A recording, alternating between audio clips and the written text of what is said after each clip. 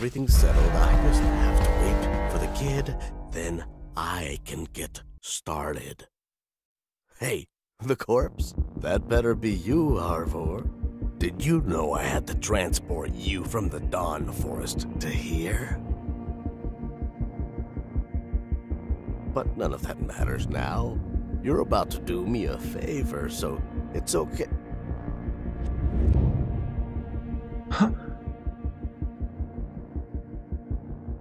I'm not going to offer you condolences.